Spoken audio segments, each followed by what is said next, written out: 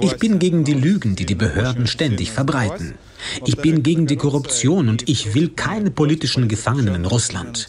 Menschen, die die Wahrheit sagen, müssen in diesem Land frei sein.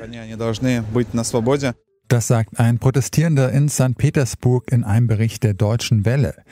In Russland gehen seit der Festnahme des Oppositionellen Alexei Nawalny zigtausende Menschen auf die Straße Woche für Woche. Grund genug, um mal genauer hinzuschauen und zu fragen, wofür sie eigentlich genau protestieren.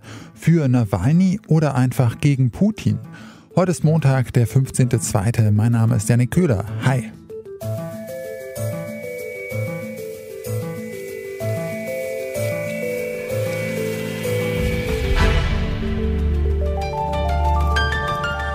Zurück zum Thema.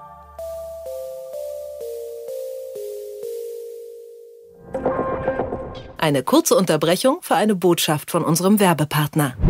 Wir Kinder vom Bahnhof Zoo. Ein Buch, ein Film. Amazon Prime Video hat den Klassiker nun neu interpretiert und aus den bewegenden Schicksalen der sechs Jugendlichen eine Serie entwickelt. In der Serie wird eine Geschichte über Freundschaft, Familie, Glück und Absturz im Westberlin der 70er Jahre erzählt. Die neue Amazon Originalshow Wir Kinder vom Bahnhof Zoo gibt's ab sofort exklusiv bei Amazon Prime Video. Von der Ostsee bis zum Pazifik, von Sibirien bis Moskau ist in den letzten Wochen in Russland protestiert worden.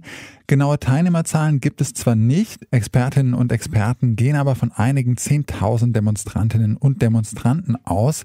Mehr als 5.000 Festnahmen deuten jedenfalls auf eine der größten Protestwellen hin, die Putins Regierung bisher erlebt hat. Tiko Gries ist Russland-Korrespondent für den Deutschlandfunk und lebt in Moskau. Ihn habe ich gefragt, wer eigentlich die Menschen sind, die da auf die Straße gehen.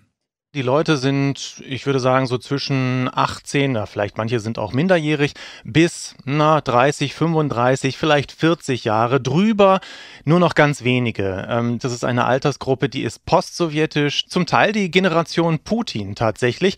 Aber es sind natürlich auch nicht, das muss man immer auch dazu sagen, es sind nicht alle, die auf die Straße gehen. Ähm, insofern ist diese Geschichte, wenn gesprochen wird in Europa, in Deutschland von Massenprotesten, es ist nicht so, dass Millionen auf der Straße sind, aber es sind Tausende, es sind Zehntausende, ist aber trotzdem interessant und bemerkenswert, weil so etwas in Russland eben nur sehr, sehr selten vorkommt und die Leute gehen ja auf die Straße, obwohl sie vorher eingeschüchtert werden und obwohl Tausende von ihnen festgenommen worden sind. Was ist denn aber jetzt das Ziel der Protestierenden? Also geht es einfach darum, Putin zu stürzen? Ich glaube, die, die Ziele sind sehr diffus und sind wirklich nicht klar. Ähm, klar, manch einer sagt, also ich hätte gerne einen anderen Präsidenten, manch einer sagt es noch radikaler, Putin muss weg oder Putin muss vor Gericht, aber ehrlich gesagt, das sind sehr, sehr wenige. Diffus ist es deshalb, weil die allermeisten gar keine ganz konkrete Vorstellung davon haben, was sie eigentlich wollen. Alle sagen, wir wollen ein besseres Russland, wir wollen ein gerechtes Russland, ein Russland, in dem die Gerichte funktionieren, in dem sie unabhängig sind. Wir wollen ein, ein Russland der Gewaltenteilung und so weiter zum Beispiel. Wenn die Leute älter sind, also vielleicht so 30, Mitte 30 und schon Kinder haben, dann argumentieren sie häufig über ihre Kinder und sagen, ich will, dass meine Kinder eine bessere Zukunft haben und ich will nicht, dass sie auch, wenn sie aufgewachsen sind, gut ausgebildet sind, wenn sie dann, dass sie dann sagen, ich kann hier nichts erreichen in meinem Land, ich gehe ins Ausland, ich gehe nach Europa, nach Deutschland, in die USA. Das sind also sozusagen die, die Sorgen, die Ängste, aber es ist jetzt, also nie, niemand läuft herum, um es mal so rum zu sagen, mit einer neuen Verfassung unterm Arm oder irgendwie einem Kandidaten, der Präsident werden soll. Die allerwenigsten wollen auch irgendwie, dass Nawalny jetzt morgen Präsident wird. Manch einer ist schon darunter, aber wirklich nicht alle. Also es ist, sagen wir mal, man muss es vielleicht andersrum sehen. Die Leute sind unzufrieden, es reicht ihnen, aber das heißt noch nicht, dass sie ganz genau wissen, was die Zukunft bringen soll. Und ähm, wie schätzen Sie das ein? Also es scheint jetzt nicht so, dass Putin in nächster Zeit äh, abdanken würde. Was können denn diese Proteste erreichen eigentlich? Ich bin da wirklich unsicher. Ich habe schon ein paar solcher Protestwellen gesehen. Klar, diese ist anders, weil sie in vielen Städten auftaucht und nicht nur in der Hauptstadt oder in St. Petersburg. Aber der Staat ist stark, der Staat ist gut ausgestattet und es gibt ja zurzeit keine Führungsfigur. Alexei Nawalny sitzt im Gefängnis und es sieht ja nicht so aus, als würde er irgendwie in nächster Zukunft dort freikommen. Sie haben das Urteil erwähnt. Deswegen glaube ich, am längeren Hebel sitzt erst einmal der Staat. Und dazu kommt eben auch, es ist dieser Protest, ich will es vielleicht schon mal kleine Protestbewegungen nennen, ist es bisher auch nicht gelungen, eben die ganzen Milieus und die Gesellschaftsschichten zu erreichen, die schweigen, die desinteressiert sind, die sich vielleicht auch in politischer Apathie befinden, weil sie Politik für ein dreckiges Geschäft halten und sich davon fernhalten.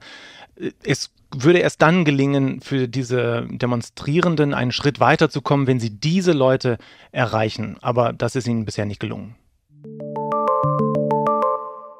Es ist also nicht die ganze Gesellschaft, die gerade in Russland auf die Straße geht, sondern vor allem junge Menschen, die mit dem System Putin unzufrieden sind.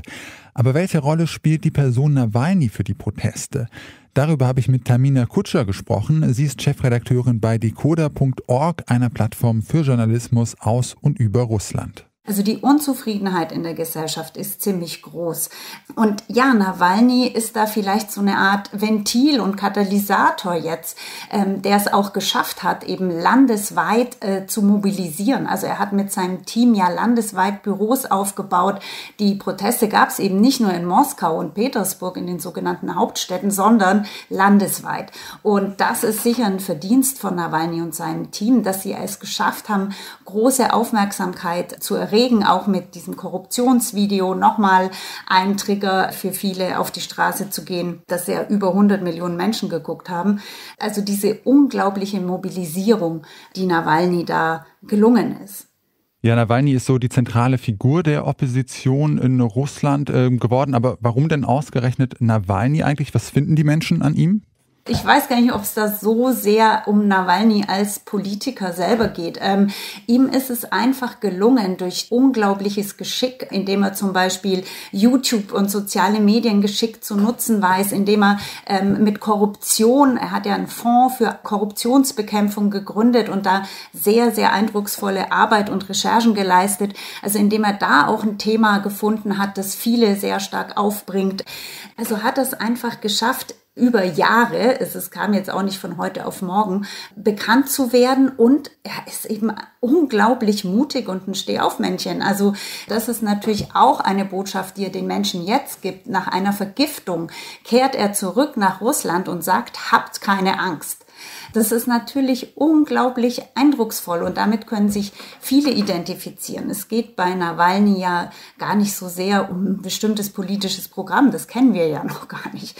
Und wir sind ja auch nicht im Präsidentschaftswahlkampf derzeit Putin gegen Nawalny.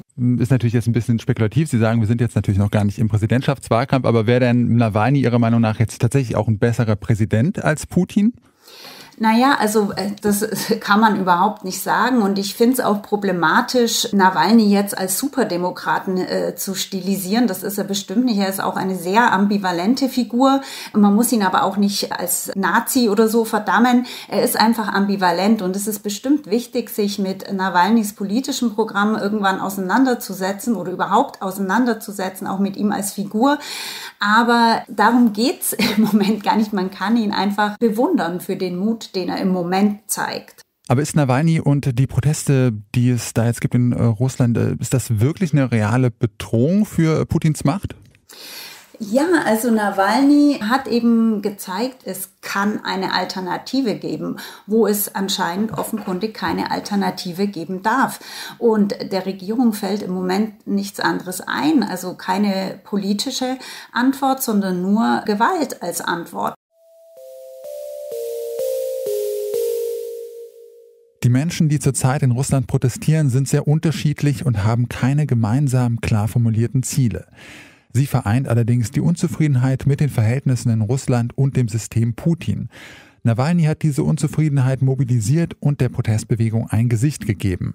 Seine Verhaftung war der sogenannte Tropfen, der das fast zum Überlaufen gebracht hat.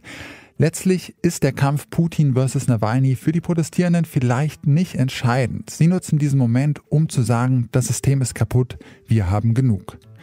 Das war's für heute von uns. An dieser Folge mitgearbeitet haben Anton Burmester, Max Königshofen, Sarah Plekart, Jonas Junak und Andreas Popella. Chefin vom Dienst war Gina Ernslin und mein Name ist Janik Köhler. Ich sag ciao und bis zum nächsten Mal.